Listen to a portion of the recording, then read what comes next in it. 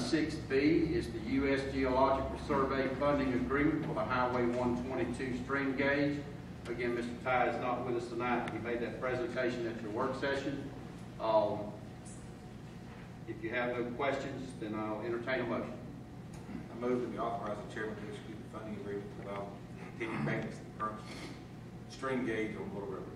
We have a motion to authorize the chairman to execute the funding agreement to allow for continued maintenance of the current stream gauge on the Little River. Do we have a second? Second. We have a second, any discussion? Hearing none, we'll call the vote, all in favor signify by aye. Aye. Any opposed, like sign.